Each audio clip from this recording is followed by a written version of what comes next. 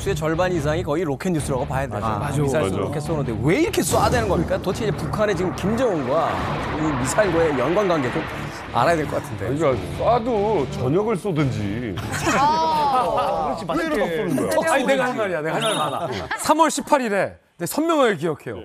북한이 3월 18일 하루에 초대형 방사포를 여섯 발을 동시에 쐈어요. 진짜요? 근데 제가 왜 기억하냐면 그날이 제 생일이었거든요. 아이고야. 내 생일에 여섯 발을 쏘는 거야 이렇게. 야, 축하해. 동시에 쐈잖아요. 블루리. 아니 블루리. 기왕이면 축하해 주는 건 좋은데 기자 생일 피해서 쏴야지. 기자 생일에 이렇게 쏴버리면 이거 취재하느라 생일 파티도 못 하고 여섯 발. 제가 지금 정확히 기억하잖아. 동시에 그것도. 파티하다가 그런데 말이죠. 이게 올해 들어서 여덟 번째 북한의 미사일 도발입니다. 1월에도 쏘고 2월에도 쏘고 3월에도 지금 이렇게 쏜 거예요. 하다 하다 내 생일까지 다 쏘고 있어요.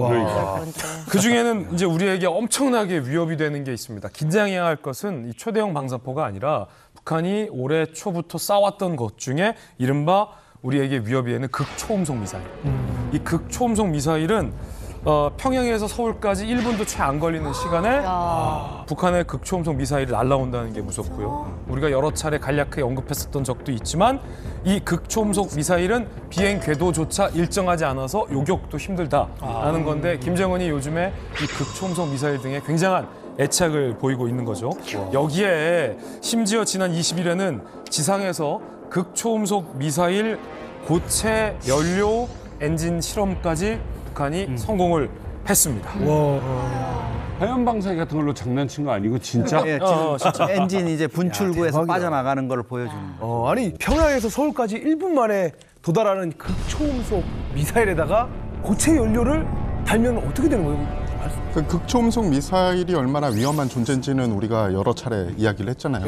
일단 빠르고 마하 5 이상. 그러니까 초속으로 따지면은 1.7km 이상이죠. 그러니까 1초에 1.7km 날아간다고 보면 되는데 1초. 그건 기준이에요. 그걸 넘어야지 극초음속 미사일의 범위에 들어가는데 그러니까 속도도 일단 빠른데다가 김진 기자님이 말씀하신 대로 일정 고도에 이르면은 전투부가 이제 본체랑 분리돼서 변칙 기동을 하죠. 그러니까 맞추기가 힘든 거예요.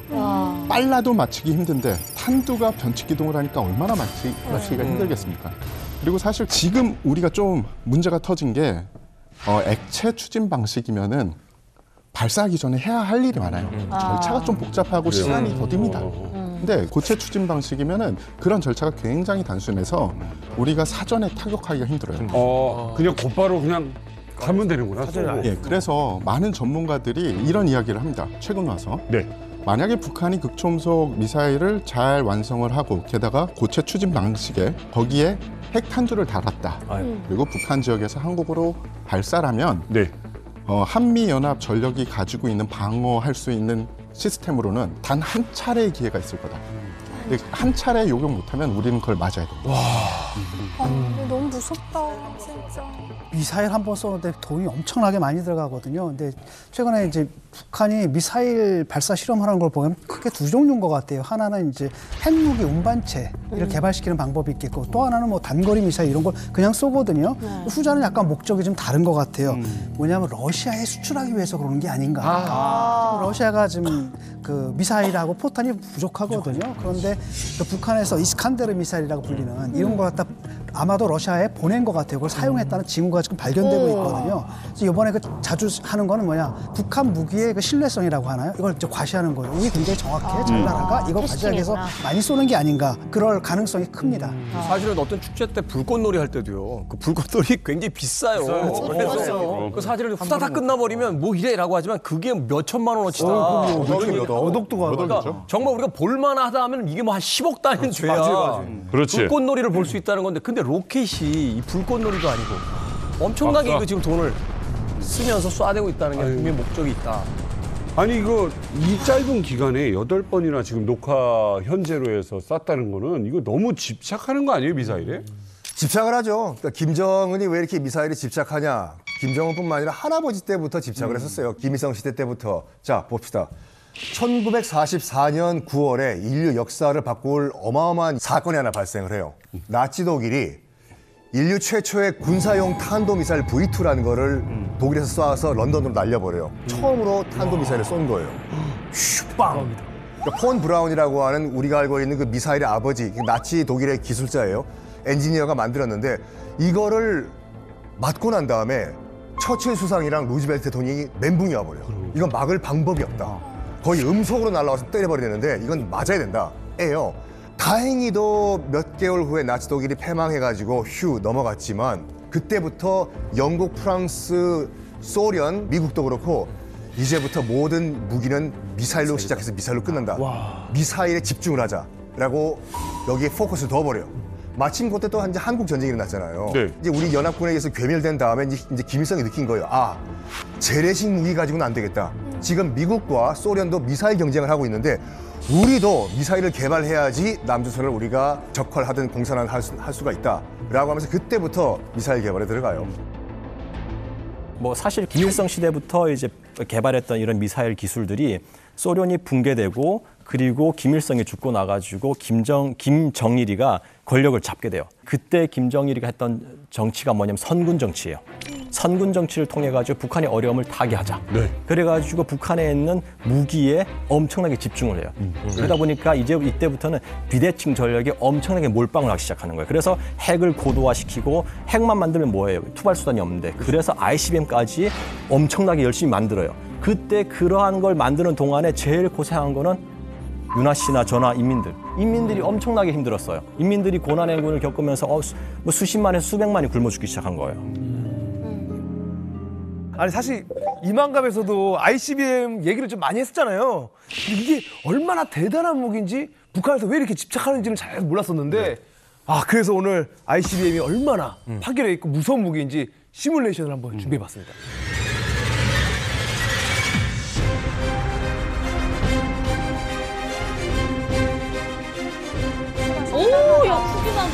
어마어마하다. 아, 대기권 밖으로 나가는 거.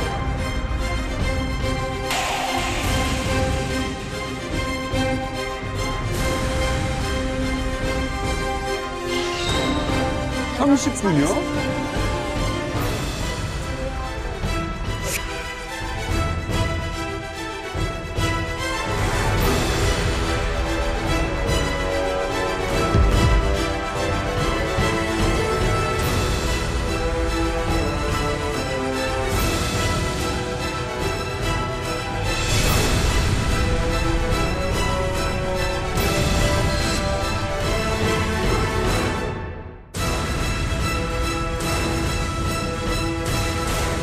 김일성이 지금 보셨듯이 미사일의 위력을 깨닫고 나서 제일 먼저 김일성이 지시한 건 무엇일까요? 와 제일 먼저요? 핵을 만들어. 저는 밀수. 어, 과학자들을 내보내지 않았을까? 납치한다? 납치 이런 거. 어, 기술자들 파키스탄이나 이런 데서 빼오거나 우리가 유학을 보내거나. 맞아요. 어, 다 비슷비슷한 일을 실제로 하긴 했습니다. 그런데 정답은 의외로 학교를 세우는 일. 학교를 세우라고요? 북한에. 맞습니다. 미사일이라는 게 하루아침에 되는 게 아니거든요. 네. 뭐총 만들고 탄약 만드는 건 공장 만들어서 뚝딱뚝딱 찍어낼 수 있어요. 지금 북한이 하는 것처럼. 네. 그런데 미사일이라는 건 말이죠. 한번 생각을 해보시면 일단 멀리 날아가려면 미사일의 소재가 가벼워야 되죠. 소재 과학. 그리고 미사일을 더 오래 날아가게 하고 빠르게 날리려고 한다면 미사일의 엔진 기술 필요하죠. 미사일의 연료 기술도 네. 필요하죠. 그리고 날아가는 동안 균형을 유지하는데 필요한 제어공학. 목표 지점까지 정확하게 타격하는 데 필요한 레이더 광학 기술. 한 국가의 최고 과학 기술의 집성체가 바로 이 미사일 기술이라는 거죠. 아. 그래서 미사일 개발까지는 굉장히 복잡한 단계가 필요한데 이 북한을 미사일 기술을 이전해 주겠다는 나라가 있는 것도 아니잖아요. 그렇기 때문에 김일성이 딱 명령을 내립니다. 미사일 개발자 양성만을 위한 학교를 건설하라 하는 거예요. 그래서 실제 북한에 김일성의 명령으로 미사일 양성 학교가 만들어지는데 이름하여 그 이름이 국방종합대학. 이곳에서 각 분야 최고의 전문가를 키워서 북한의 ICBM 개발에 이 인재들을 투입한 거죠. 국방 종합대학? 어, 이걸 왜 내가 처음 듣는 거죠 지금? 사실 그럴 수밖에 없는 게 저도 한국에 와서 국방종합대학을 처음 들었거든요. 왜냐하면 이곳에서 북한에서 그렇게 공을 들이고 있는 ICBM 그런 기술들을 하- 만든다 그러면은 그 학교에는 매일에 쌓일 수밖에 없어요. 그리고 사실 이거를 공표해가지고 우리가 ICBM 만들어 우리가 큰 폭탄을 만든다 그러면은 국제사회 눈들이 그걸 보고 있거든요.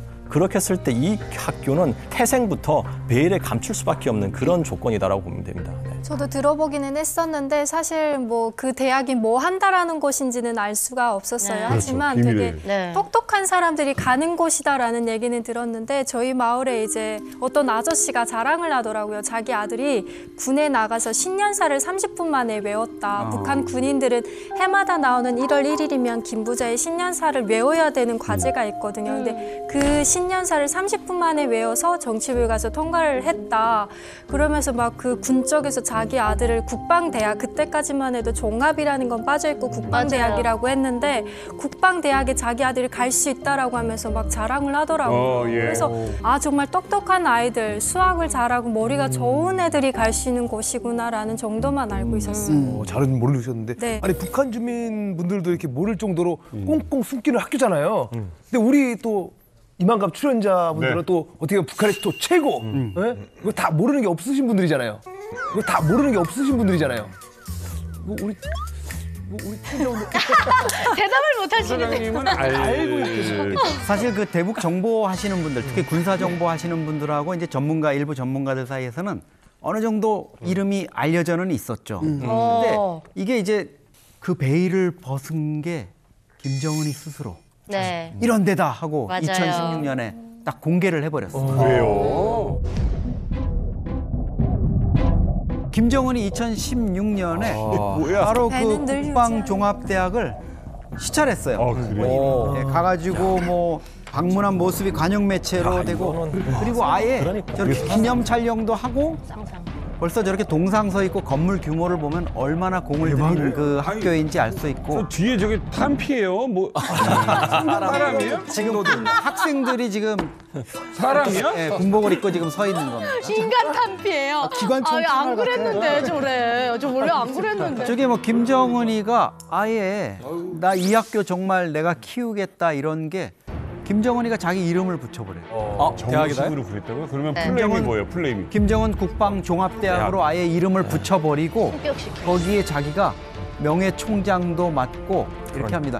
아니 이게 뭐 역사 속에서 보면 어떤 유명한 어떤 단체나 이런 데다가 왜 그 왕실에서 뭐 로얄이다. 그래서 어떤 그 명칭을 부여하는 게 있잖아요. 그만큼 이제 아끼고 이제 굉장히 그 전폭적인 지원을 약속한다 뭐 이런 뜻인데 그렇죠. 북한에서 이제 그 소위 이제 백두혈통이라 부르는 김일성, 김정일, 김정은의 이름은 사실은 그런 의미가 있는 거잖아요. 있죠. 그러니까 사실 저희가 기- 김정은이가 지금 집권을 잡고 나서 김정은의 생일이 정확히 어- 언제인지는 알지만 북한에서 기념을 하지 않고 있거든요. 그만큼 김정은이가 겸손하다고 하면 겸손한 행보를 보이고 있잖아요. 근데 대학교에 자기 이름을 줬다라는 거는 뭐냐면은 그 대학교에 어마어마한 힘을 실은 거고 자기 대에 와서 김정은 국방 종합대학으로 승격을 시킨 건 뭐냐면은 이걸 통해서 저희가 북한의 미사일 기술, ICBM 기술이 어느 정도의 궤도에 올랐구나. 이제는 자신감 있게 공개를 한 거죠.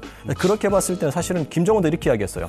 대학 위의 대학, 세계 일류의 대학을 만들겠다라고 천명을 했거든요. 그리고 북한 대학교 안에 김일성 동상, 김정일 동상이 두 개 있는 거는요. 네. 저는 처음 봤어요. 그만큼 이 대학교에 어마어마한 애정을 쏟고 있는 거죠, 지금. 야, 근데 대학 위의 대학, 세계 인류급의 대학, 이거는 우리나라 대학들 대개 이제 입시 요강에 붙이는 거예요. 아니 근데 말은 잘해.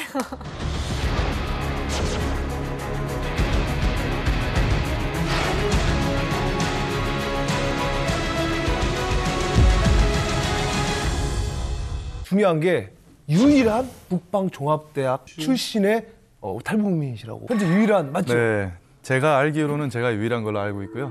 김정은 국방종합대학이 어, 북한에 있는 어떤 기관들보다 뭐 쇠뇌 교육이라든가 뭐 통제 시스템이 좀 강합니다. 엄격한 시스템이고 김정은 국방종합대학교를 졸업하는 사람들은 대부분 붉은 전사다. 예, 이렇게 말씀드릴 수 있을 것 같아요. 그래서 탈북한 사람이 거의 없고요. 제가 알기로는 제가 유일한 걸로 알고 있습니다. 제가 단도직입적으로 한번 좀 질문을 좀 드리고 싶습니다.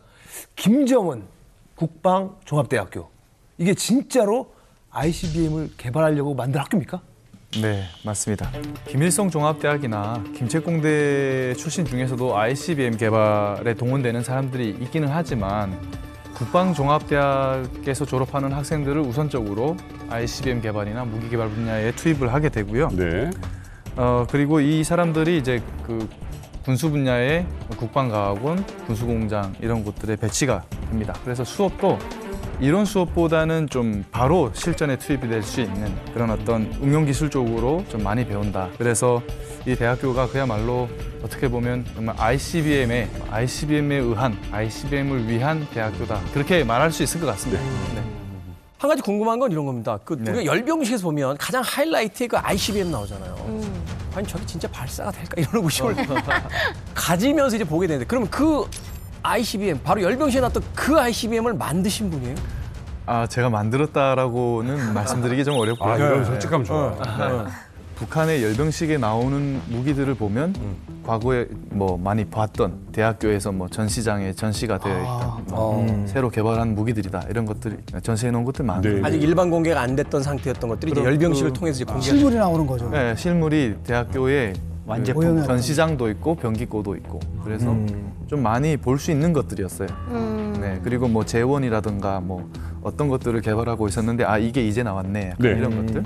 그 서방에서는 M2020이라고 음, 이제 어. 명명했고 네. 이제 군사 커뮤니티에서는 뭐 인민북 람스 여기 이제 LED 어, 뭐야? 화면에 보시면 김정은. 네.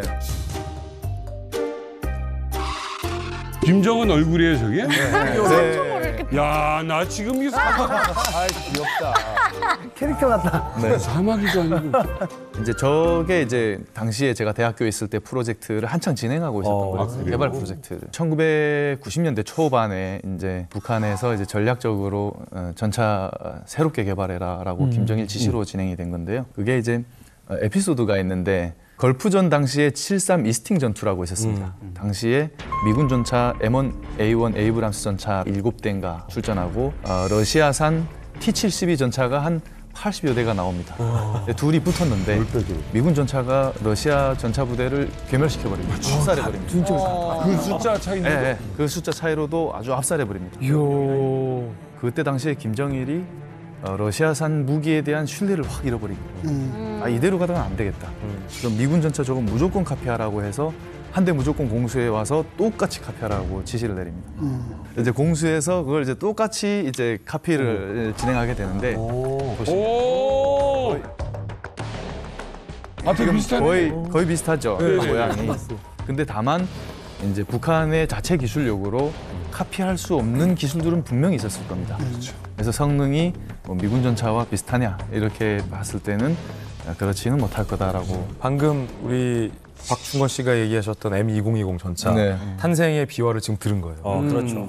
그런데 저걸 북한이 공개했던 게 이 학교에서 연구했던 것보다 한참 뒤인 2020년 10월 노동당 창건일 75주년을 맞아서 화려하게 열렸던 열병식 때도 공개가 됐었습니다. 그래요? 음. 이 열병식이 굉장히 성대했어요. 잠수함에서 발사하는 탄도미사일인 북극성 4형도 공개했었고 ICBM 화성 17형 같은 북한 무기들의 뭐 역작들을 대거 공개했던 게 그때 열병식이었거든요. 그런데 이 국방종합대학 학생 600명이 열병식에 참가했다는 사실은 오. 많이들 모르세요. 나 처음 듣는 얘기인데. 엄청 많이 참가했네.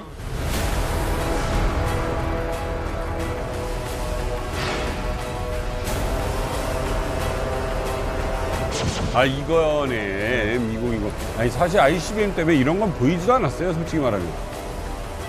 이런 게 궁금했지. SLB.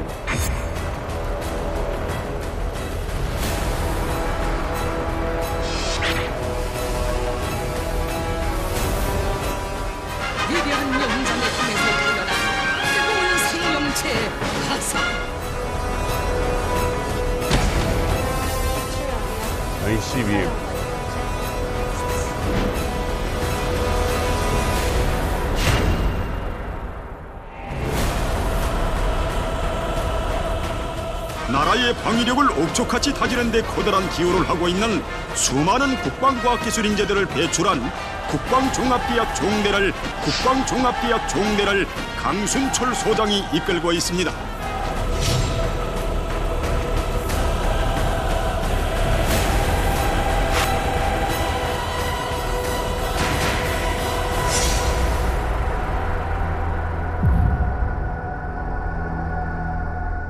자, 김정은 국방종합대학은 말하자면 군인이라기보다는 연구원들이 중심이 된 학교인데, 근데 열병식에 연구원들이 참석한다? 우리나라도 열병식 있지만 거기 무슨 저 연구원들이 가운을 입고 그 행진을 하거나 이러진 않잖아요, 사실은. 다음은 군무원들의 입장이겠어요. 그러니까 근데 약간 이상하잖아요. 어. 군무원. 그렇죠. 어때요, 신은아 씨? 그 북한에서 대학생들이 이런 행사에 참여하는 경우가 많습니까? 북한에서 대학생들이라고 하면 보통은 건설 현장에 투입이 되거나 아니면 우리가 알고 있는 아리랑 축전 있잖아요. 네. 거기에 들어가서 막 뭔가 매스게임. 하겠죠. 예. 근데 여기는 국방 종합대학이라고는 하지만 이 학생들을 학생이라고 보시면 안 되는 게 사실 북한 군 위에 있는 학생들이에요. 북한 군은 김정은의 그 독재 정권을 옹호하잖아요. 근데 이 학생들도 그 김정은 정권의 그 독재 정권이 계속 유지되는 것과 직결되어 있는 것이고 또 두 번째로는 군사 퍼레이드를 통해서 여러 가지 핵무기를 막 보여줌으로써 자긍심을 주는 것 같아요. 봐라, 니들이 만들어낸 무기를 우리가 퍼레이드에서 선보이고 국제사회에 공표했다. 자긍심을 안고 더 열심히 만들고 연구해라 라는 메시지를 담아서 이 학생들을 이 자리에 모시지 않았나 싶어요. 김정은 입장에서는 국방종합대학에다가 자기 이름까지 붙였으니까 당 창건 퍼레이드 여기에 한번 내세워주고 싶었던 거죠. 자기 이름을 걸고. 그렇죠. 63년, 1964년에 설립된 이후에 그 존재조차도 드러내지 못하고 인정받지 못하던 이 엘리트들이 그 김일성 광장 퍼레이드에 나왔다는 것만으로도 아마 김정은에 대한 고마움이나 어떤 충성심 이런 것들 또 김정은이가 관심을 갖고 이러는 것들을 보고 들으면서 뭔가 자부심을 느꼈을 거예요. 아까 제가 또 들으면서 조금 이제 놀랐던 게 북한 주민들도 이거를 잘 모를 정도로 비밀리에 이렇게 한다는 게 맞습니까? 네, 맞습니다. 사실 그 전까지는 완전히 비밀스러운 대학교였습니다. 북한 주민들도 전혀 몰랐고요. 아, 852 군부대라고 이제 그 외부에는 공개가 돼 있고 그리고 저 학생증에도 852 군부대 예, 군인이라고 이렇게 적혀 있어요. 네. 공식적인 지위가 군인인 겁니까? 아니면은 외부에다가 군인이라고 진짜 군인은 아닌데 진짜 왜 그쵸. 근데 진짜 군인은 아닌데 군복무 인정해 줍니다. 네, 군복무 인정해 주고요. 정확하게 그 학생증에 852 군부대 학생이라고 적혀 있습니다. 학생. 네. 그 말씀을 드릴 수가 있는 게 아까 비밀스럽게 이제 그 운영이 된다고 했잖아요. 지금도 마찬가지일 거라고 생각하는데 대학교를 입학하게 되면 학생이 되기 전에 우선 서약부터 하고 갑니다. 네, 비밀에 대해서 서약하겠다. 이 학교의 존재 그리고 이 학교의 어떤 어, 목적, 배우는 내용, 보고 들은 모든 것다 비밀로 하겠다. 네. 네. 아니 그러면 그 부모님한테도 비밀이에요? 내가 어디 학교 다니면 막 자랑하고 어, 싶잖아요. 그렇죠, 그렇죠. 부모한테는 말할 수 있는 거 아니에요? 네, 그 가족한테도 비밀일 수는 있는데 그렇게는 안 되지 않습니까? 그래서 보통 가족들한테는 얘기를 하, 죠 얘기를 하는데 사실 뭐 부모님들은 뭐 정확하게 뭐 어떤 걸 공부하는지까지 관심이 있으시진 음. 않으니까 아. 그렇죠. 좀 부모님들은 되게 말씀드리고 어느 대학인지가 중요하지 뭘 공부하는지 별로 신경 안 써요. 어느 정도 급의 대학인지만 중요한 거고. 네. 그래서 이번에 사실 김정은 국방종합대학교를 방문하고 어, 학교 명칭과 뭐 사진도 공개하고 열병식에도 학생들을 공개하는 것을 보고 나선 좀 많이 놀랬던. 아, 그래요? 어, 이럴 곳이 아닌데. 이럴 곳이 아닌데. 음, 아 그러면 오늘 학교 얘기하시면은 네. 서약서 위반이신 거네요? 아, 그런 셈이네요. 정도야? 아니 국적이 바뀌었는데 무슨 뭐 국회의원까지 그래. 이쪽 가만 아, 마음껏 편안하게. 가만 안 있으면 뭐 어떻게 어떻게 할 겁니까? 가만 안 있으면 뭐 어떻게 어떻게 할 겁니까? 어, 대한민국 사람인데 뭐 이제.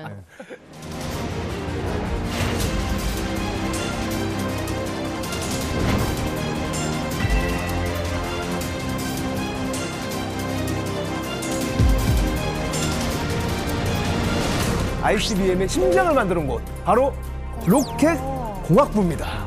로켓 공학부는 로켓의 엔진을 전공하는 한 개 학과가 있고 어, 로켓의 어떤 동체를 설계하고 내부 구조를 설계하고 이런 학과가 또 있습니다. 사실 뭐 ICBM에서 핵심이 아닌 기술은 없지만 그래도 핵심 기술 중에 하나가 바로 저 로켓 공학부가 연구하는 엔진부가 될 수 있겠죠. 그러네요. 얼마 전에 성공한 화성 18형 ICBM 같은 경우에 6,000km까지 상승을 했거든요. 그래서 이거를 좀 정상 각도로 발사를 했다. 그러면 북한에서 충분히 미국의 지역을 타격할 수 있다라는 거예요. 로켓 공학부가 일부로 지금 돼 있는 이유가 그쪽에 얼마나 힘이 실려 있는지 그렇죠. 음, 추진체가. 음. ICBM의 머리지요. 아, 바로 브레인 컴퓨터 공학부 전자공학부입니다. 아, ICBM이라는 이 무기 체계는 사실은 발사한 순간부터 컴퓨터 제어를 받을 수밖에 없거든요. 어떻게 보면은 뇌 같다고 보시면 돼요. 뇌와 신경 같은 그런 존재죠.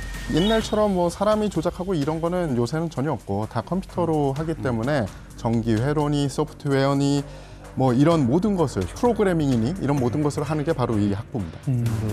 이야, 어, ICBM의 눈과 귀입니다.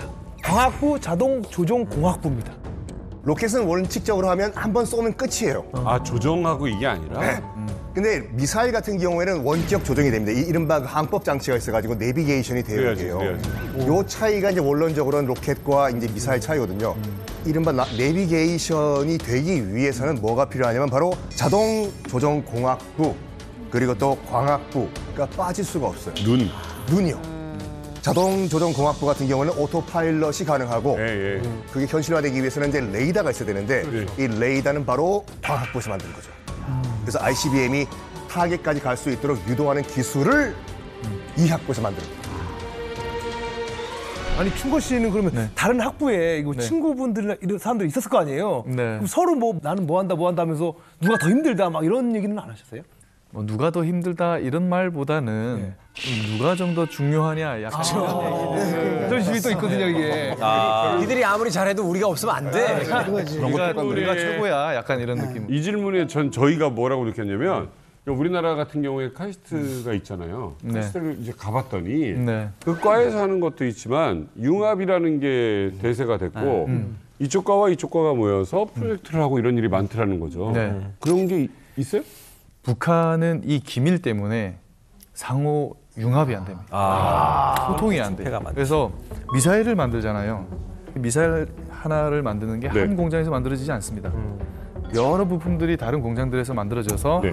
하나의 공장에서 조립이 되는데 이 공장들 간에도 소통이 잘 안 돼요. 아, 테러로 쪼개 놓은 형태네요. 그래- 그렇기 때문에 품질 관리도 더 어렵고요. 그 과에는 재료공학과는 네. 좀 라이벌로 삼는 과가 있다면 어디예요? 아무래도 뭐 잘 나가는 과가 제일 어, 뭐 어디, 어디요? 이겨야 되는 과고요. 일관. 컴퓨터공학과랑 뭐 자동조종공학과 이런 것들이 가장 최근에 생겼고 네. 어, 배치를 받아도 평양 인근에 네, 받게 되고 어, 이렇게 이런 게 아니네요. 네, 그리고 또 당시에는 북한이 이제 컴퓨터 어, IT를 또 중요시해서 IT에 대한 어떤 선망 이런 것들이 좀 있었습니다. 있었고. 해커도 만들고 막. 근데 사실 눈으로 보기에 가장 멋있는 거. 멋있는 데는 그 상용무기학과. 상용무기. 네, 그게 뭐예요? 상용무기학과는 장갑무기학과도 있고, 탱크 그리고 만들고. 어뢰학과도 따로 있고, 잠수함학과가 따로 있고, 어뢰학과. 저격무기학과가 있고, 아 그런 거 그런 것도 있어요. 그러니까 그럼요. ICBM만 만드는 게 아니고. 상용무기학부만 유일하게 ICBM에서 배제돼 있어요. 재래식. 거기는 다른 재래식 무기들을 다 하거든요. 아, 근데 그림은 좋겠네. 아 그림 좋고 이 친구들은 실습할 때도 실제 총 들고 나가고 전차 타고 나가고 험난해. 아, 실수단이 없게 탱크 타고 막.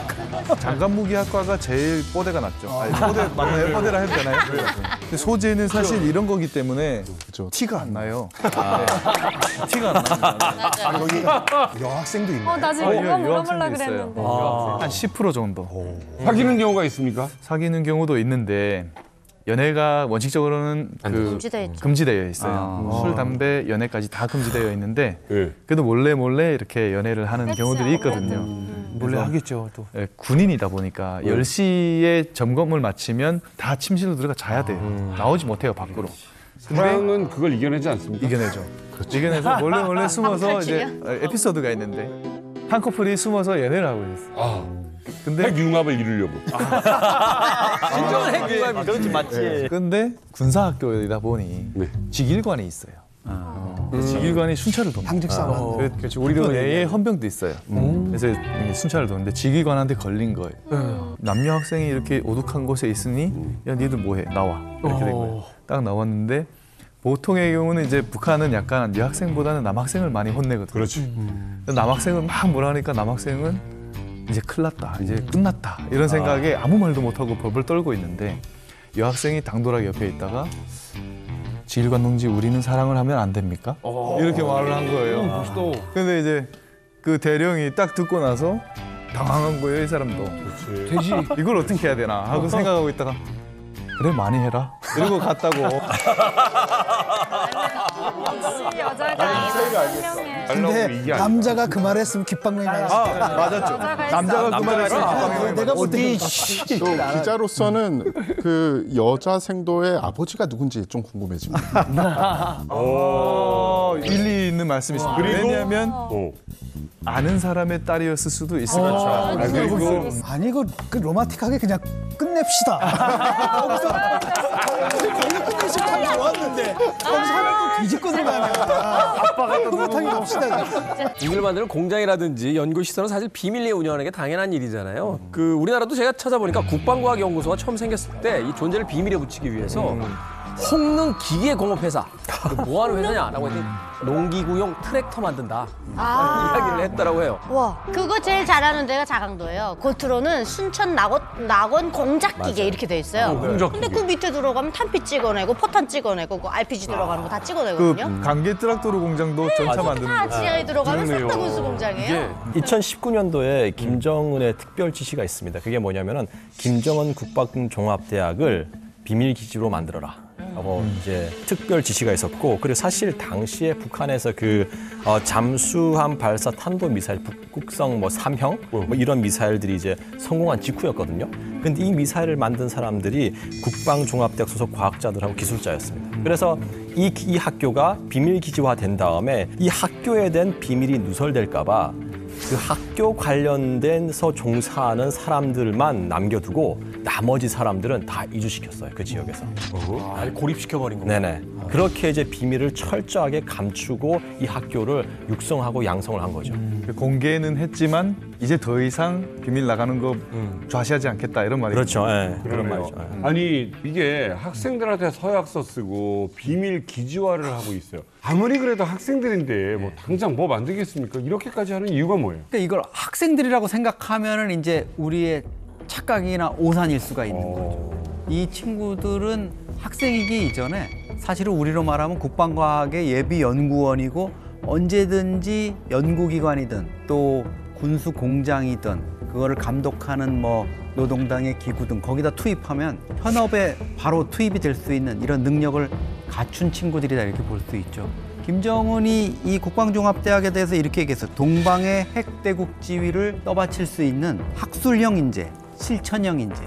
뭐 학술형 인재는 그렇죠. 공부하는 거니까 뭐 그런데 실천형 인- 인재라는 게 바로 본인이 생각하는 미사일에서 시작해서 ICBM으로 끝나는 그 모든 날아가는 발사체와 관련한 것들을 만들어내는 즉각 투입이 가능한 인력 이렇게 생각을 하는 거죠. 거기에 플러스로 말씀을 드리면 대학교의 어떤 학과 구성과 그리고 그 주변의 어떤 연구 인프라스 시설들 이런 것들에 대한 학생들이 다 눈으로 보고 듣고 아, 체험하는 것들이기 때문에 그리고 대학교 과정 중에도 군수공장들의 음, 다수의 군수공장들의 실습도 많이 나갑니다. 실습을. 음. 그래서 이게 다 정보이기 때문에 예. 어, 우리가 그냥 대학으로 알면 안 되는 거네요, 그렇죠. 이게. 그럼요. 네. 자 어찌됐건 이 국방종합대학에서 양산 인재들로 인해서 결국은 김일성부터 수건 사업이었던 이 ICBM 개발이 김정은 시대에 와서 이제 완성을 하게 됩니다. 네. 자, 전 세계 어디든 원하는 곳을 공격할 수 있다라는 무시무시한 이야기를 하고 있는 이 네. 대륙간 탄도미사일 ICBM 그 개발 역사를 제가 영상으로 한번 정리를 해봤습니다.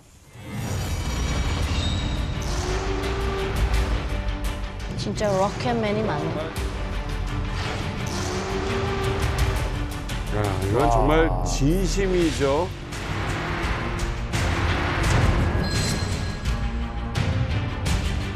우리의 과학자 기술자들은 다계단 운반 로켓으로 첫 야. 인공지구 위성을 궤도에 진입시키는 데 성공하였다.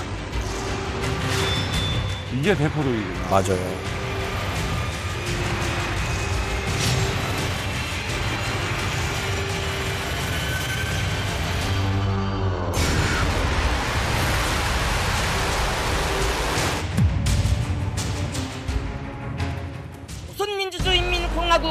과학원 과학자 기술자들은 새로 연구 개발한 대륙간 탄도로켓 화성 14형 시험 발사를 성공적으로 진행하였다.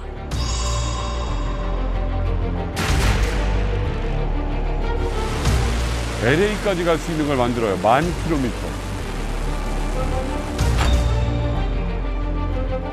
끊임없어요.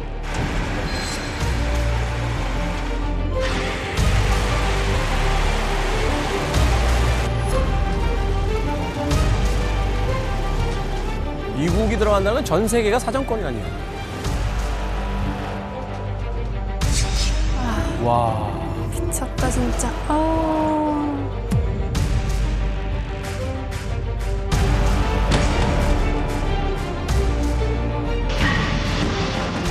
와. 대체는?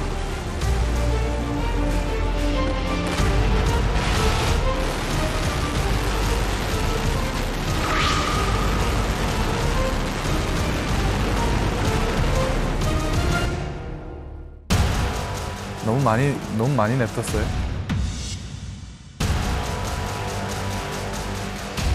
방금 전에 이 영상을 보면서 박충건 씨께서 너무 냅뒀어요라는 표현을 했어요. 올해 어, 북쪽이 만들 수 있도록 너무 냅뒀다. 이게 그만큼 김진 기자 심각한 일이에요. 너무 냅둔 거죠. 잊지 말자 ICBM, 잊지 말자 김정은 국방종합대학이에요. 절대 잊으면 안 되는 거예요. 국방종합대학에 왜 김정은이 자기 이름을 붙였게요? 잘 생각해 보세요. 아버지 김정일 때까지 ICBM 완성 못했어요. 아버지 김정일 때까지 핵무기 완성 못했어요. ICBM 화성 18형 고체형까지 나왔죠. 아까 미사일 자세 제어하는 거 보세요. 물에서도 쏘죠. cold launching 기술까지 완성했죠. 핵 기술 완성했죠. 수소폭탄. 김정은 때 들어서 다 완성했어요. 그걸 완성 가능하게 했던 투자와 그 연구진이 바로 박충건 씨 나온 김정은 국방종합대학이에요. 이거 잊지 말아야 됩니다. 제가 오랜 세월이 흘렀는데도 지금도 기억나는데 오후 한 5시쯤에 북한이 발표를 했는데 북한이 뭐라 그러냐면 대포동 1호인데 그게 김일성 장군의 노래가 지금 궤도 진입해가지고 위성으로부터 들려오고 어, 저희도 있다. 그렇게 들었어요. 어. 그리고 실제로 음. 위성이 움직이는 거를 볼 맞아요. 수 있으니까 나와서 보라 그랬어요 주민들. 네, 맞아요. 맞아요. 돌아가는 그리고 걸 볼수 들었어요. 라디오를 통해서 그 소리 다 들었거든요. 그래서 우리 성공한 줄 알았어요. 그리고 그게 미사일 실험이라고 우리한테 말 안 했고 인공위성을 쏴 올렸는데 우리 김일성 장군의 노래가 지금 하늘 저 위를 지금 돌아다닌다는 거예요. 그래서 우리는 누워갖고 이렇게 별 움직이는 거 보면 야, 저 광명성 이러다, 광명성 이러다 이러면서. 거짓말이었던 거예요. 그 우리나라 거만 있는 줄 알았어요, 하늘에. 음, 다른 사람 다 못하는 줄 알고 우리만 하는 줄 알고. 기가 막히네요. 야, 기가 막히네. 네. 아니 거기에 학생으로 있을 때 그런 자부심이 있었던 적이 있죠. 있어요. 네, 그 대부분의 국방 대학생들이라든가 그 졸업생들은 그 어떤 그런 자부심에 이렇게 예, 이렇게 충만해서 이제 일을 하고 있고 또 이제 제가 한 2006년쯤에 어떤 동영상 선전 영상을 봤는데 그게 뭐였냐면 북한에서 어떤 신형 미사일이라든가 핵폭탄 이런 것들을 실험한 거를 영상으로 쭉 보여주면서 여기에 이제 외부 세계의 뉴스들도 이제 하나씩 띄우는 거예요. 근데 이게 조작이죠. 예를 들면 한국에서 뭐 MBC가 뭐 이제 북한이 핵실험했다라고 하면서 이렇게 도발했다라고 자막을 띄우면 그 자막을 지우고 김정일을 찬양하는 자막을 띄워요. 아, 남조선에서 그런 식으로 해서. 이제 제가 생각이 바뀌고 있을 때였는데도 울컥하더라고요. 아, 나 왜 이러지라는 생각이 들 정도로 네. 그러니까 국방대학원의 학생들 같은 경우에는 것 같으니까 위대한 수령이 장군님이 비전을 제시하면은 그 비전을 우리가 현실로 만드는 전사다. 라는 그런 이제 자부심을 갖고 사는 거죠. 이제 뭐 북한에서 선- 선전을 그렇게 하죠. 뭐 세계 최대의 군사 강국이다 이렇게 표현하거든요. 진짜 그런 줄 믿어요. 네. 생각해 보세요. 우리가 단순한 공놀이라고 부르는 축구만 해도 여기서 얼마나 뭐가 차올라와요. 그렇죠. 한 우리가- 경기 골 하나 넣을 때마다. 근데 지금 저런 어떤 무기를 이제 만들어냈다라고 그 대대적인 국가적 선전이 있을 때 사실은 거기에 이제 경도되어 있는 사회 속에서는 그런 느낌을 받을 수밖에 당연히 없는 그러니까 특히 이제 핵 같은 경우는 눈에 안 보이잖아요. 실험했다 뭐 이것만 있지. 근데 미사일이나 위성은 어쨌든 올라가는 게 보이고 크기, 불꽃 이게 보이니까 더 김정은으로서는 활용할 가치가 높으니까 사실 김정은 국방종합대학이 더 절실하게 필요할 수밖에 없는 거예요. 그 예. 부분을 받쳐주니까. 아니 그리고 아까 보면 저 ICBM이 이 씨가 나온 국방종합대학을 나온 그 분들이 만드신 거잖아요. 그렇죠. 학생들이. 근데 그때 북한에서 그러면 ICBM 만들 때 그럼 그때 공부를 하고 계셨던 거예요, 계속. 네, 그때 당시에 공부를 하고 있었고요. 제가 2003년에서 7년까지 있었는데 이제 이게 무기화될 수 있는 ICBM으로 그 진화하고 있던 그 중에서 어떤 그 어떤 결정적인 실험이 하나 있었는데 그게 대포동 2호입니다. 이 프로젝트가 뭐였냐면 국방과학원에서는 이걸 이제 정지 궤도 위성 프로젝트라고 불렀어요. 정지 궤도 위성이라고 한다면 어, 지상 3만 킬로 이상 뛰어지는 위성이거든요. 그래서 그만큼 멀리 가는 미사일을 만들겠다라는 의도라고 보시면 되고 그게 2006년에 실험을 어, 진행을 했는데 실패했습니다. 42초 만에 폭발했다고 했고요.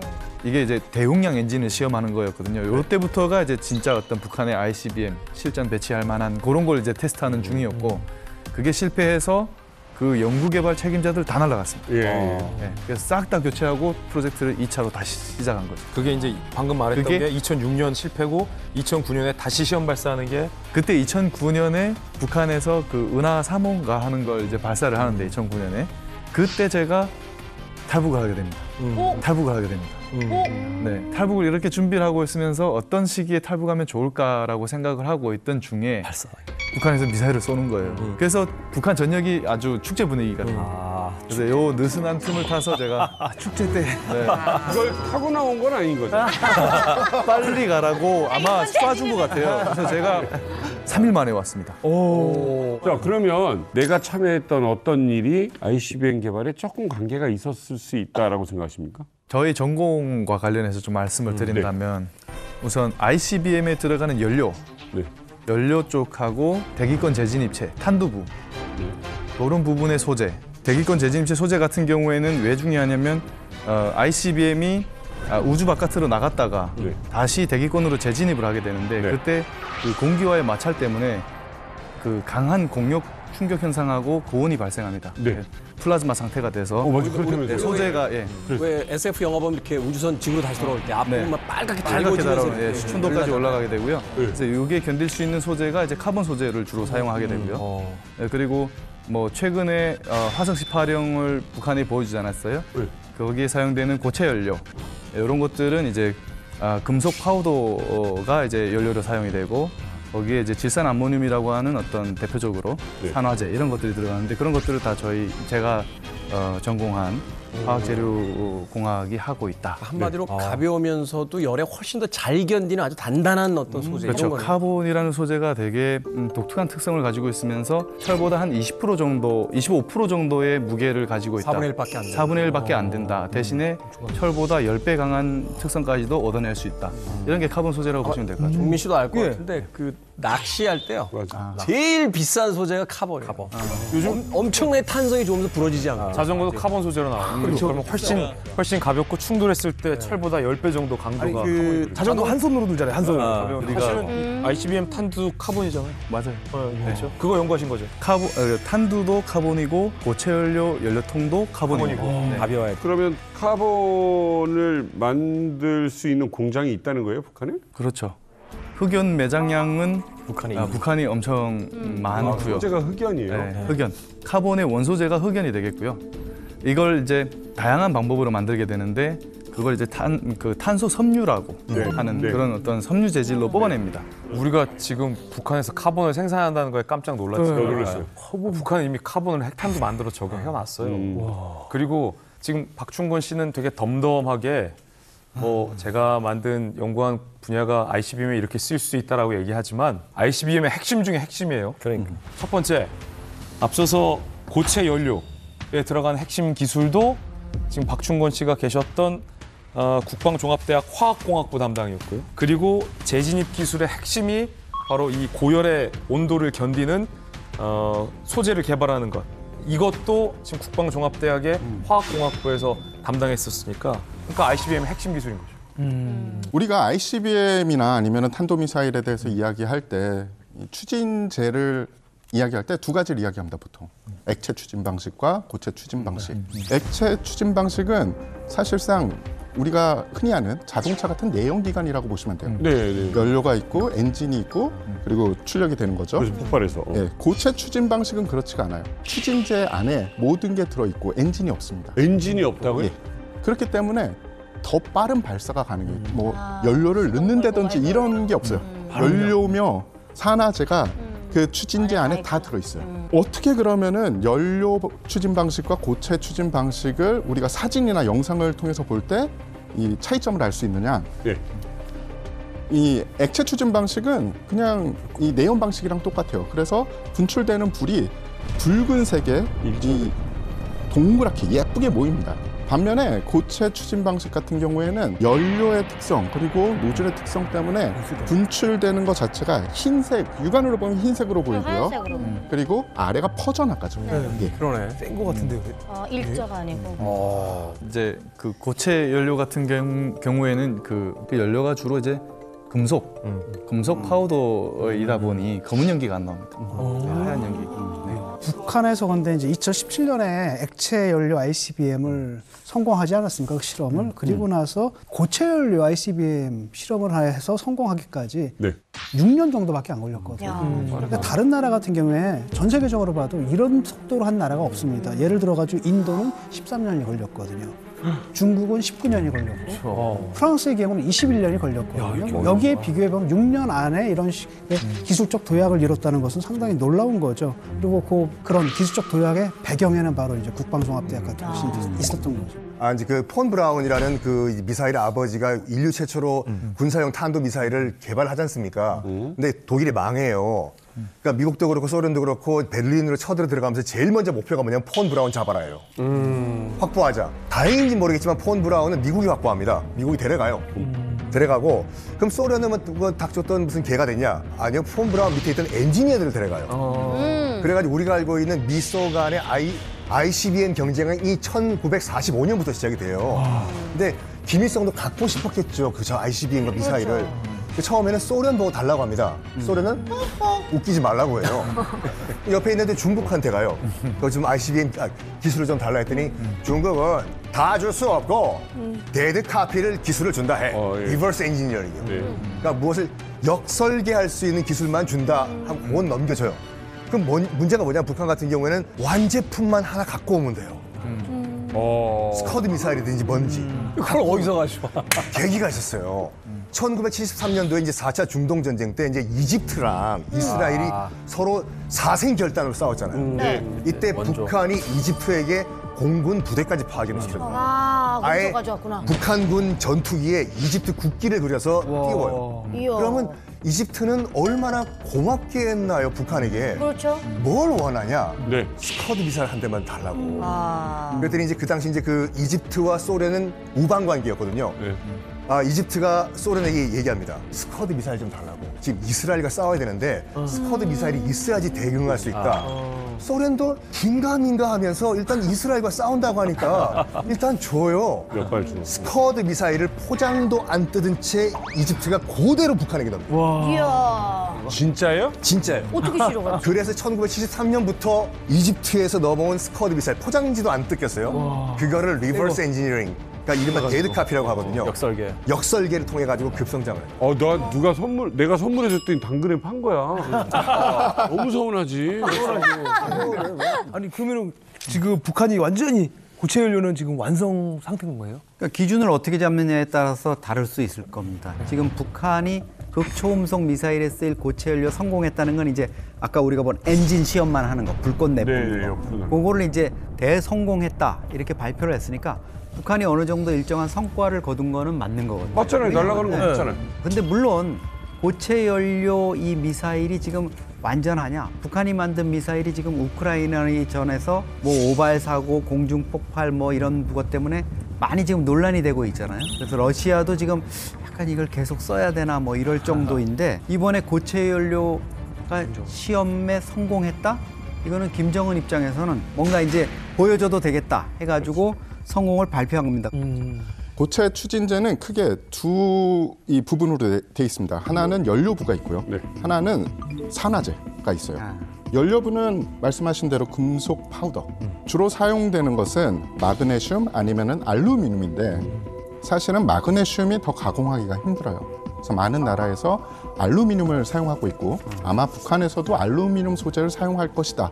라는 건데 그 다음에 이제 산화제로 가죠. 산화제는 질산 암모늄 그리고 과염소산 암모늄 이 두 가지를 주로 사용하는데 네. 북한에서는 아마도 질산 암모늄을 많이 사용할 것이다. 네. 왜냐하면 그것이 그래도 조금 네. 기술적으로 쉽습니다. 일단 이것들은 기본 소재고 거기에 무슨 뭐 계면 활성제 이런 것들도 많이 들어가요. 근데 뭐 부수적인 거고 이렇게 해서 잘 섞고 나서 끝이냐? 그게 아닙니다. 이것도 황금 배율이 있어요. 왜냐? 소재마다 다 특성이 달라요. 그러겠죠. 이것과 이것을 섞었을 때 그리고 이 어떤 다른 분자가 섞였을 때 결과가 달라지니까 그것을 찾아낼 때까지 신뢰성이 생길 때까지 계속 연속적으로 실험을 해야 됩니다. 그런데 북한이 ICBM 고체 추진제의 ICBM을 성공한 게 여러 차례 있었죠. 세 번 정도 되는 걸로 알고 있는데 실패한 건 더 많아요. 그러니까 앞으로 가야 될 길이 네. 많은데 이번에 최고 존엄을 데려다 놓고 우리가 이런 기술을 성공했다고 한 거는 그거를 내 외부적으로 보여주고 싶었던 거예요. 정밀한 제조 공정, 그렇지. 그다음에 정밀한 배합이 중요한 건데 아주 아주 아주 더 쉽게 표현하면 재료가 되는 금속 파우더, 연료가 잘 타게 만드는 산화제, 이거를 잘 섞이게 만드는 바인더가 있는데 요거를 일정한 배율로 분자 단위로 아주 통제된 실험실에서 정밀하게 조합을 잘 해야 돼요. 왜냐하면 액체 연료는 연료실에서 우리가 그냥 자동차 연료 태우듯이 뭐 연료를 이만큼 태웠다가 이만큼 남겼다가를 조절할 수 있는데 고체 연료는 한 번 발화가 되면 이걸 되돌릴 수가 없거든요. 보통 안에 있는 게다 연소가 돼요. 그래서 발사하고 싶은 높이만큼 개선해서 연료를 만드는 거예요. 그래서 요만한 연료를 만들면 요만큼 발사되고 이만한 연료를 만들면 요만큼 발사된다고 쉽게 생각하면 되는데 문제는 한번 발사되면 되돌릴 수 없다고 했죠. 어. 그래서 요 안에 분자들의 비율을 잘 배합해야 로켓이 정밀로. 이렇게 날아가죠. 그런데 만약에 재료가 잘못 섞여요. 그러면 이 안에서 폭파하는 속도도 다르고 폭파하는 압력도 다르죠. 그럼 로켓이 이렇게 이렇게 이렇게 이렇게 이렇게 이렇게 궤도에 이탈하다가 극단적인 상황에서는 공중에서 어우 오, 폭파시켰어요. 제발. 안정되게 날아갈 수 있어야겠네. 제가 좀 쉽게 설명을 한번 드려보겠습니다. 아까 금속 파우더라고 했잖아요. 네. 네, 금속 파우더라고 했는데 우리가 파우더를 보게 되면 그냥 가루잖아요. 알루미늄. 근데 가루인데 이걸 확대해서 보게 되면 다 이렇게 구형의 입자로 되어 있어요. 아, 네. 확대하면. 네, 금속 입자들이 이렇게 구형으로 되어 있거든요. 근데 이걸 만들 때 이렇게 동일한 이런 크기로 다 똑같게 만들기가 어려워요. 이게 엄청 어려운 기- 기술입니다. 만들게 되면 항상 다 사이즈가 다른 애들이 나와요. 그래서 왜 이 문제가 되냐면 금속이 이게 타야 되는데 작은 금속 입자 같은 경우에는 금방 잘 타요. 금방 타죠. 그리고 속에 내부까지 다 탑니다. 깨끗하게. 깨끗하게. 연소 효율도 좋죠. 화력도 좋고. 근데 이렇게 큰 입자 같은 경우에는 잘 안 타요. 겉에만 타고 내부는 안 타요. 찌꺼기 남겠다. 네, 남죠. 연소 효율도 안, 좋, 안 좋고 아까 막 하얀 입자 날리는 게 아마 이런 게 같이 날리는 거죠. 네. 근데 이게 문제가 또 어떤 게 있냐면 이런 것들이 다 섞여 있잖아요. 네. 연료통 안에. 작은 애들이 많이 나오는 쪽에서는 화력이 세고 그렇죠. 큰 애가 나오는 쪽은 화력이 약하겠죠. 비울겠네. 그럼 이게 편향되는 거, 추력이 편향되는 거예요. 그렇죠. 네. 그래서, 정확도가 떨어지는 거고. 대부분 그런 이유가 그러니까 이게 얘가 막 그 야구공 같은 애들 타고 뭐 하다 보니까 한 0.1mm만 해도 워싱턴 가려는 애가 딴 데 가는 거. 시카고 가서 그 시카, 어, 이렇게 딴 데 갈수 그렇죠. 있다는 거네요. 네. 근데 그러면 날개로 조정하면 되는 거 아니에요? 날개로 조종할 수 있는 한계가 있는 거죠. 이 그렇게 빠르게 움직이는 미사일을 에, 조금이라도 이게 기술을 트는 거는 엄청나게 힘든 아니 그 거죠. 채는 없어요. 채를 이렇게 걸러가지고. 아, 채, 아, 실제로 채도 사용해요. 네, 실제로 채도 사용해요. 네, 합니다. 네. 네. 채도 사용해요. 그러니까 이 고체 연료를 배합하는 그 제조 설비가 상당히 중요한데 이 얘가 적절한지는 모르겠지만 예를 들어서 사골 설렁탕을 만드는 노하우를 내가 다 알고 있어요. 네. 사골뼈 앞다리 몇 개, 뒷다리 몇 개, 네. 그다음에 수육 몇 개를 썰어 넣어야지 최고의 설렁탕이 나온다. 아, 예. 는 거는 알고 있는데 레시피, 예. 막상 이거를 끓이려는 가마솥이 없다. 어, 가마솥 확보하셨습니까 북한에서? 말씀하신 진짜 갈비 이런 것들은 다 준비가 되어 있어요. 소재는 마그네슘, 알루미늄 많지 않습니까 네. 북한에? 근데 이걸 만드는 가마솥. 가마솥이 없는 거예요. 가마솥이 있다 하더라도 안 좋은 거. 양은 냄비가 있군요. 우리가 자꾸 아직도 그렇잖아요. 아, 고체 연료 뭐 완성을 했는데 뭐 했다더라 뭐 그러면서도 ICBM 아직 완성 아니야. 완성이야. 이런 논란이 있는 이유가 또 있어요? 딱 하나 있죠. 뭐예요? 재진입 기술. 아, 그러니까 대기권 밖에 갔다 나갔다가 들어오는 미사일의 상층부가 대기권 밖으로 나갔다가 나갔어. 그 안에서 탄두만 떨어져 나와서 대기권을 돌파하면서 미국으로 떨어져야 되는데 그러면 미국 갈 때는 그렇게 안 하고 그냥 바다 가까이로 해서 이렇게 가는 기술은 아직 없는 거예요? 워낙 거리가 멀기 때문에 그렇게 불가능하죠. 어, 잠수함이나 배로 거기까지 가서 쏘는 방법이 있는데 그 전에 다 요격이 되겠죠. 근데 문제는 탄두가 대기권을 다시 뚫고 재진입할 때는 속도가 굉장히 빠르다. 이게 재진입할 때는 마 20, 그러니까 음속의 20배 빠른 속도인데 이때 고열이 발생합니다. 6천에서 7천도의 고열이 발생하고 엄청난 충격도 발생합니다. 한다며. 그러면 이걸 견뎌야 되는데 저 안에 예를 들어 핵폭탄이 있다고 가정한다면 오, 터질 것 같은데요? 겉에를 감싸고 있는 핵탄두가 저기서 녹아버린다면 미국을 가기 전에 대기권 안에서. 음. 핵폭탄이 폭발해버리겠죠. 그러면 북한 입장에선 무용지물이 되는 거기 때문에 저 핵탄두가 불균형되게 손상되는 것도 막아야 되죠. 대기권을 뚫고 들어가서 원하는 곳을 타격하면서 원하는 곳에서 원하는 효과대로 이게 터져야 되는 게 재진입 기술인데 이게 북한이 과연 네. 성공했을까와 네. 관련해서는 많은 전문가들이 아직은 아니다. 아니 대기권에서 핵폭탄 터지면 지구는 어떻게 가라는 거야? 우주 이건- 우주가 다 이상해지고. 이건 민폐 중에 왕민폐예요. 보통 ICBM을 전략 핵무기라고 하거든요. 네. 전략 핵무기라는 뜻은 그 국가의 존망이 달린 무기라는 뜻입니다. 그렇기 그치. 때문에 완벽하게 시험이 끝나고 이건 100% 성공했어 네. 라고 하기 전엔 투사할 수가 없는 무기예요. 근데 여태까지는 북한이 ICBM급의 무기, 무기 체계를 어떤 식으로 실험을 했느냐 수직 발사를 했습니다. 남의 나라 영공으로 보낼 수 그렇죠. 없어. 예, 뭐 여러 가지 이유 때문에 수직 발사를 했는데 원래 제대로 된다면 일반 각도로 발사를 해서 대기권을 빠져나가서 대기권을 재진입하는 것까지 그걸 다 실험을 해야 돼요. 근데 아직까지는 그런 실험에 성공했다 이런 입증 자료가 전혀 없습니다. 근데 그런 실험을 할 수 있습니까? 북한에서 쏴서 대기권 나- 밖에 나갔다 다시 그래요. 들어가면 남의 남의 나라 영해나 상공이 돼버리죠. 미국은 할 수 있어요? 미국은 그러니까 영토가 크고 친구가 많은 나라는 어느 정도 가능해요. 그런데 북한은 친구도 없고 그리고 영토도 데가 작지 없구나. 않습니까? 그래, 그렇기 때문에 어, 정상각도 발사라는 게 약간 제한이 될 수밖에 없죠. 박충건 씨가 좀 묻고 싶은데 네. 이제 북한에서 직접 그 신재료에 대한 어떤 그 연구를 하셨으니까 네. 북한의 재진입 기술 사실 만드는 사람 입장에서는 알잖아요. 어, 어느 정도까지 그래. 프로젝트를 주고 언제까지 이거 만들어야 돼라고 하면 아 이게 기술이 언, 어느 정도 수준까지 왔나 이런 어떤 느낌 같은 걸 받을 텐데 어떻습니까? 제가 북한에서 대학교를 다닐 당시 한 2005년, 6년 당시에 탄소복합 소재의 시제품을 눈으로 봤었고 봤었는데 그 성능 자체는 뭐 확인은 안 됐죠. 확인은 안 됐는데 이게 아직까지는 어, 부족한 수준이다라고 저는 일단 그렇게 판단을 하고 있고요. 네. 대기권 재진입체라는 소재는 탄소 복합 소재로 만들게 되는데 이게 화학적으로도 균일하면서도 최적 성능을 내는 그 성분계를 뽑아내야 되고요. 그리고 이게 화학적으로뿐만 아니라 탄소 복합 소재들이 3D 구조로 이렇게 아, 구성이 되어 있어요. 네. 근데 이것을 또 최적화하는 작업도 필요하단 말이죠. 네. 근데 이게 어디에서 성능이 최고가 나오냐? 이건 실험을 해봐야 되는 거 아닙니까? 실제 쏴보거나. 근데 말씀하신 대로 어, ICBM을 어, 정상 각도로 발사해 본 적은 없고 정상 각도로 발사하게 되면 ICBM이 대기권에서 재집, 재진입할 때 마하 25 정도가 나오는데 거기에서도 견딜 수 있느냐? 근데 그건 이제 테스트가 안 됐다라는 거죠.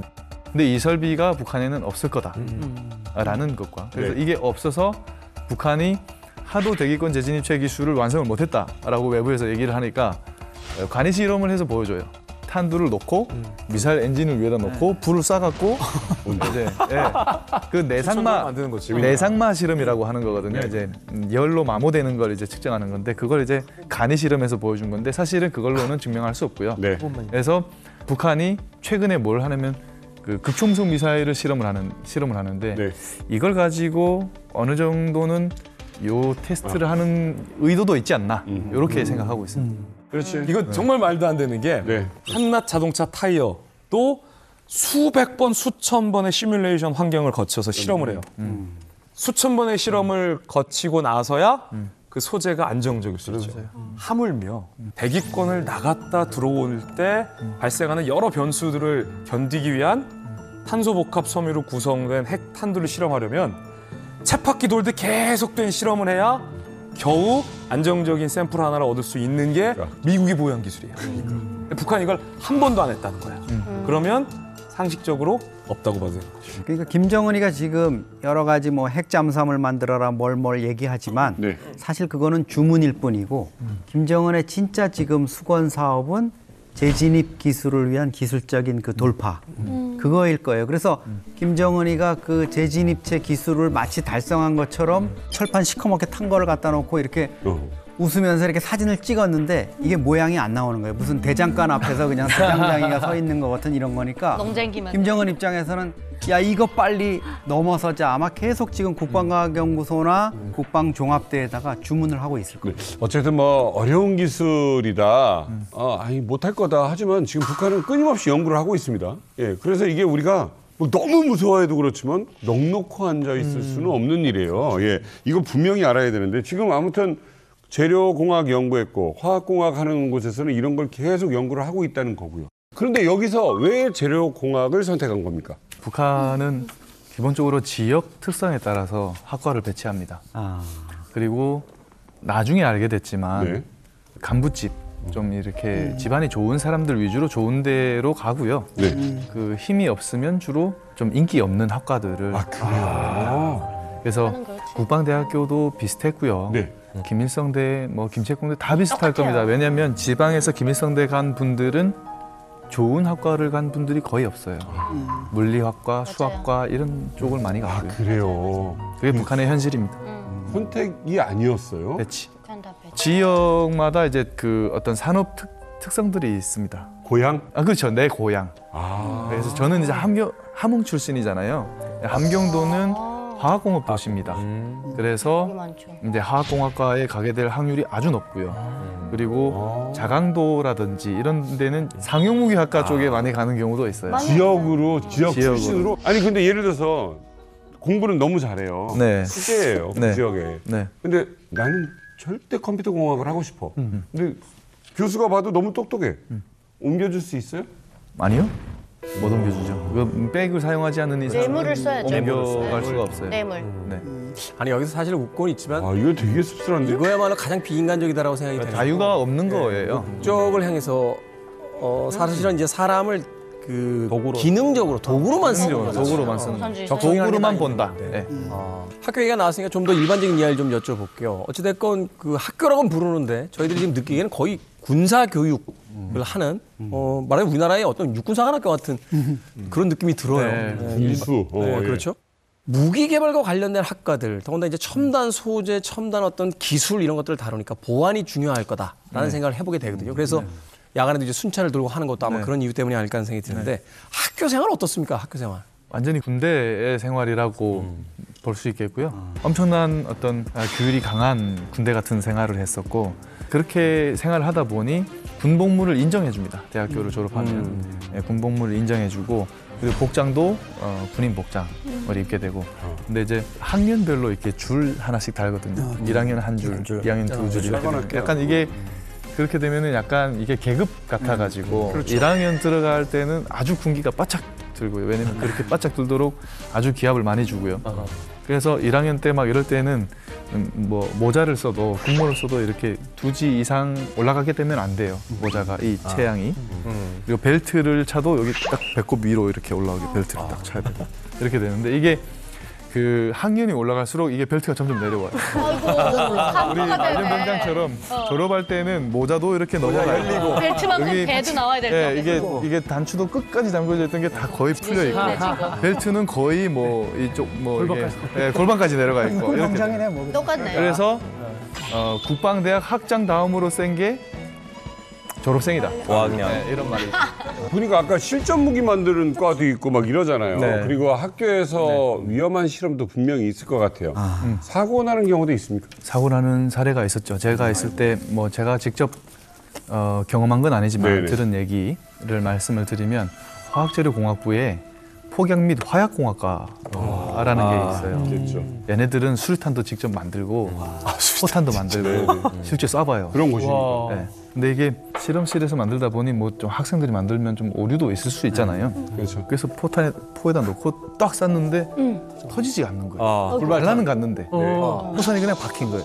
어머. 이걸 수거해야 돼. 언제 터질지 모르잖아요. 오, 위험하다. 그러면 그 실험하던 학생들끼리 가위바위보를 합니다. 왜? 야. 수거하러 가는 사람을 뽑아야 되잖아요. 그럼 군부대에서 와서 해야 되는 거 아닙니까? 그런 거 없어요. 우리나라처럼 안전 어떤 그런 매뉴얼, 안전 시설 이런 것들이 제대로 되어 있지 않기 때문에 학생들이 다 하거든요. 그래서 그래서 가위바위보를 하면 지는 사람이 생기잖아요. 그럼 그 지는 학생이 방호복도 없이 그냥 맨몸으로 포복을 으로 이제 그 포탄이 떨어진 곳으로 가요. 가게 되면 학생들이 그 뒤에서 어, 장송곡을 불러줘요. 예? 장난치는 거야. 되게 어. 뭔가 우프다고 해야 되나요? 그러니까. 네, 좀, 우스- 좀 야, 목숨이 되게 걸린 슬픈. 네, 목숨 걸린 일인데 또 아, 어떻게 아이고, 어떤 아이고, 어떤 목숨. 면으로는 웃기기도 하고 친구들끼리 그냥 약간 예, 장난기 장난식으로 왜냐면 여기서 너무 정숙해지면은 그렇지, 더 그러니까, 그러니까. 약간 웃으면서 하는데 어, 장송곡을 불러주면서 이렇게 어. 아또 사고 난 게 어떤 거냐면 그 상용무기학과에서 일어난 일인데 네. 지뢰를 전문으로 하는 지뢰요. 아, 지뢰 위험하다. 학과예요. 근데 이게 어. 지뢰의 특성들을 실습할 때 알려준단 말이에요. 그렇죠. 뭐 발- 개인 지뢰, 대전차 지뢰 뭐 이런 것들이 있지 않습니까? 음. 근데 대전차 지뢰는 사람이 올라가도 원래 터지지 말아야 돼요. 그렇지. 그러니까 그런 그 무게가 사람 무게로는 안 터지죠. 아, 안 터지. 전차 정도의 무게, 뭐 어떤 트럭이나 뭐 이런 정도의 무게여야 터지게 만들, 그렇죠. 만들다 보니까.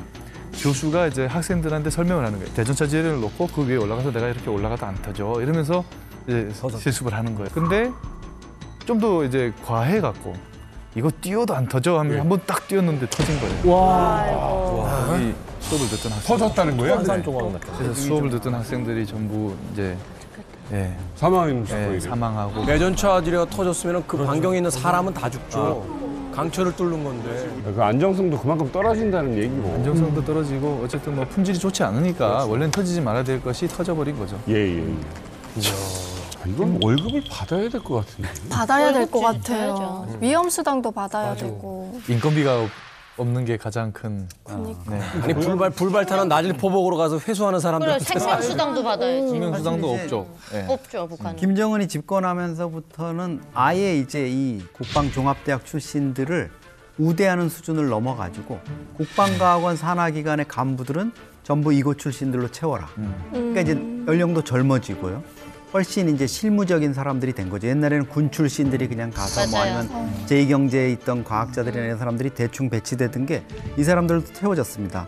그러다 보니까 이제 ICBM이라든가 이런 발사체 이런 쪽의 기능들이 강화되고 있는 거고 대표적인 게 이제 조춘용입니다. 이 조춘용이 군수공업부장을 지난해 말에 맡게 됐는데요.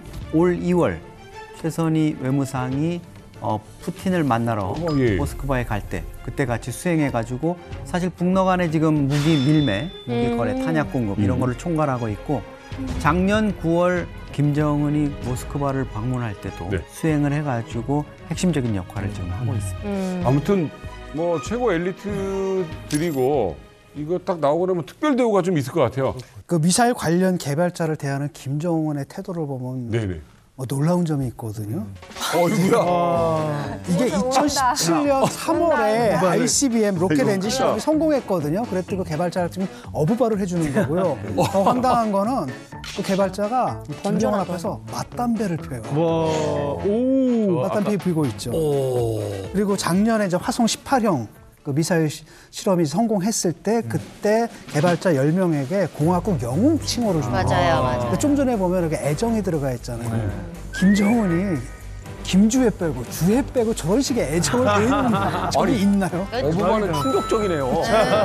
맞담배를 핀다는 거 상상이 됩니까 이게? 거기다 이게 국방대학을 졸업하기만 해도 당원에 가입할 수 있다고 하는데 사실 이분들에게는 너무나 당연한 걸 수 있겠지만 일반 사람들한테는 굉장히 어려운 거예요. 신뢰를 하나 들자면 저희 어머니가 출신 성분이 좀 안 좋으시다 보니까 남들보다 더 노력을 해야지만 당원에 가입한다고 하셨어요. 그렇다 보니까 여자의 몸으로 이 하마를 들고 5년 동안 하마질을 하신 거예요. 거기서 당원에 가입된다 그렇게 하면 했는데 5년 동안 그렇게 노동 무보수로 하셨겠죠, 당연히. 그럼에도 불구하고 당연히 당원이 되지 못하셨어요. 근데 이게 북한 일반 주민들한테는 당원이 된다라는 게 북한 노동당으로부터 내가 신분이 인정이 된다라는 거기 때문에 사실 엄청난 건데 네. 이 학교는 나오기만 해도 당원이 주어진다니까 엄청난 특혜라고 할 수가 있는 거죠. 좋은 대우를 받을 수 있는 길이 열렸어요. 근데 왜 탈북을 했느냐 여쭤보고 싶어요. 네, 탈북을 한 이유를 말씀을 드리게 되면 어떻게 보면 뭐 탄탄대로였다고도 말할 수가 있겠죠. 어떤 의미에서는. 근데 제가 이제 대학교 생활을 하면서 또 북한에서 가르치는 어떤 어, 사상 교육과 뭐 철학과 그 사회 시스템에 대한 뭐 공산주의를 선전하는 좋은 내용들 많이 배웠는데 실제 현실은 그렇지 않았더라라는 점이었습니다. 그래서 제가 이제 학생 간부를 하면서 학생들을 좀 통제하는 그런 위치에 있었습니다. 네. 사상 교육도 제가 담당하고 그런 위치에 있다 보니까 이 시스템 돌아가는 구조에 대해서 좀 알게 된 거예요. 그 타이밍에 제가 어, 어떤 논문을 예, 두 편을 읽었어요. 그 논문 두 개를 읽었는데 뭔가 잘못됐다 시스템적으로. 그 전에는 어, 아랫 단위에서 어떤 부패 때문에 예, 뭔가 잘못된 거다라고 생각했다면 그 논문을 읽고 나서는 아 이게 뭔가 시스템적인 문제다라는 이제 점을 이제 생각하게 됐어요. 뭐라고 적혀 있길래 그게?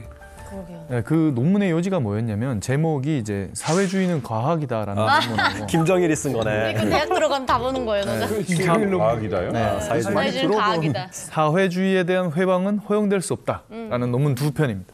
이게 요지가 뭐냐면 외부 세계에서 사회주의는 이러이러한 이유들 때문에 안 된다. 이건 잘못된 어, 어떤 이데올로기고 사회 시스템이다. 부패할 수밖에 없고 망할 수밖에 없다.라고 이제 외부 세계 학, 학자들이 얘기하는 것을 김정일이 조목조목 반박하는 거예요. 아니다. 아, 사회주의는 이래서 과학이다, 맞다, 이건 정의다, 선이다 이렇게 얘기를 하는 건데 그래서 사회주의에 대해서 해방하는 것은 허용하지 못한다 이런 주장을 펴는 거였거든요. 근데 그걸 제가 보고 있는데 외부 세계가 말하는 것들이 다 맞는 거예요. 반박이 안 맞는 거예요. 네. 네. 논리적이죠. 논리적이지가 않아요. 왜냐면은. 실제 진리를 진리가 아니다고 까니까 이게 안 맞는 거예요. 네. 사회주의에 대해서는 전체주의다, 행정명령식이다, 병령식이다 이런 얘기들을 하잖아요. 근데 제가 보기에 다 맞아요. 네. 김정일 김정일이 아주 좋은 논문을 썼네. 좋은 논문을 쓰셨어요. 아, 썼어요. 네. 기가 막힌 논문이. 네. 그리고 유일 사상이 맞다라고 얘기를 하는데 제가 보면은 사람들 다 생각이 달라요. 근데 이 사람도 어떻게 다 똑같은 사상으로 하나로 묶습니까? 이것도 말이 안 된다고 생각해요.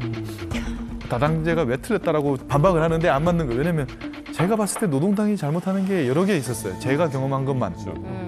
그리고 계획 경제가 맞다라고 주장을 하는데 저는 시장 경제가 맞다고 생각해요. 내일 아침 내가 뭐 먹고 싶은지 국가가 어떻게 합니까? 네. 모르죠. 그런 거예요. 그러니까 이게 말하는 게 하나도 반박하는 게 하나도 안 맞는 겁니다. 그래서 저는 사실 자본주의의 기초를 그 논문 두 개를 통해서 배웠습니다. 역설적. 역설적. 그래서 이제 좀 파고들다 보니 이게 노동당부터 제가 여기까지는 아니다라고 생각했던 조선노동당 중앙당도 다 썩어 있었고 에, 다 부패하고 있었고 졸업생들 졸업 배치를 하지 않습니까? 근데 어디 가고 싶어요? 나 평양에 남고 싶어요. 그러면 3천 불을 주면 되고 뭐 이런 식인 겁니다. 이거 아다 부패했구나. 다 썩었다. 그래서 이건 시스템적으로 잘못되지 않으면 일어날 수 없는 일이다라고 생각을 해서 그때 제 세계관이 바뀌었는데 완전히 뒤집히니까 제가 이제 선이고 정의라고 믿었던 세상이 악이 돼버린 거 아니에요.